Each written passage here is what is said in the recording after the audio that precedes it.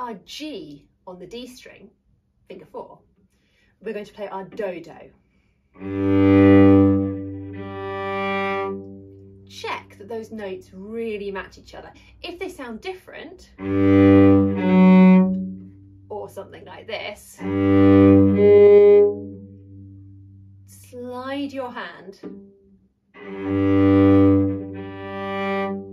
until you find the place they really match. I like to call that doing a dodo check. Once you're there, we're ready to play This Is G. Ready, off we go. This is G, G, G.